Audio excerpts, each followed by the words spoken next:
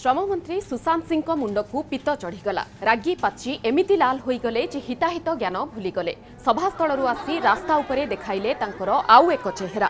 ଗତକାଲି ସଇଁତଳା ବ୍ଲକ ବୁଢ଼ାବାହାଲରେ ଚାଲିଥିବା ବିଜେଡିର ଜନସମ୍ପର୍କ ପଦଯାତ୍ରାରେ ମନ୍ତ୍ରୀଙ୍କ ଉପରେ ହୋଇଥିଲା ଅଣ୍ଡାମାଡ଼। ସଭାକାର୍ଯ୍ୟ ଆରମ୍ଭ ହେବା ପରେ ଜଣେ ଯୁବକ ମନ୍ତ୍ରୀଙ୍କୁ ଲକ୍ଷ୍ୟ କରି ଅଣ୍ଡାମାଡ଼ କରିଥିଲେ। ଅଣ୍ଡାଟି ଲକ୍ଷ୍ୟଭ୍ରଷ୍ଟ ହୋଇଥିଲା। ଅଣ୍ଡାମାଡ଼ କରିଥିବା ସଞ୍ଜୟ ଗୋହିରକୁ ପୋଲିସ କାବୁ କରି ଗାଡ଼ିରେ ବସାଇଥିଲା। ହେଲେ ପୋଲିସ ଗାଡ଼ି ଭିତରେ ବସିଥିବା ଯୁବକକୁ ମନ୍ତ୍ରୀ ମାଡ଼ ମାରିଥିବା ଅଭିଯୋଗ ଆଣିଛି କଂଗ୍ରେସ। ଏହାକୁ ନେଇ ଘଟଣାସ୍ଥଳରେ କିଛି ସମୟ ପାଇଁ ଉତ୍ତେଜନା ଦେଖାଦେଇଥିଲା। ଅଣ୍ଡାମାଡ଼ କରିଥିବା ଯୁବକକୁ ସଇଁତଳା ପୋଲିସ ଅଟକ ରଖି ପଚରାଉଚରା କରୁଛି। କୌଣସି ରକମ ନୈତିକତା ଅଧିକାର ନାଇଁନ ଯେ ଗୋଟେ ମନ୍ତ୍ରୀ ହେଇକରି ହେଁ ଆସିକରି ଗାଡ଼ି ଭିତରେ ପଶିକରି ପୁଲିସ ସାମ୍ନାରେ ହେଁ ସୁଶାନ୍ତ ସିଂ ଏଇଟା ପିଟବାଟା ଏଇଟା ଗୋଟେ ଯୁକ୍ତିଯୁକ୍ତ ନାଇଁ ସେ। ଆର୍ ଏବଂ ଏଇଟା ଗୋଟେ ବିଜେଡି ସରକାର ପାଇଁ ଗୋଟେ ଏଇଟା ମାନେ ଯାହା ଆମର ଧାରଣା ହେଲା ମାନେ ହେଲାନ ଯେ ଏଇଟା ମରଣା କାଳେ ଏଇଟା ବିପରୀତ ବୁଦ୍ଧି।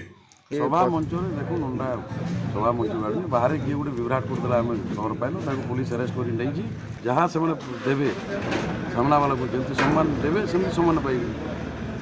ନହେଲେ ବାହାରେ ତାଙ୍କର ଉପରେ ବି ଏମିତି ସମ୍ମାନ କରାଯିବ।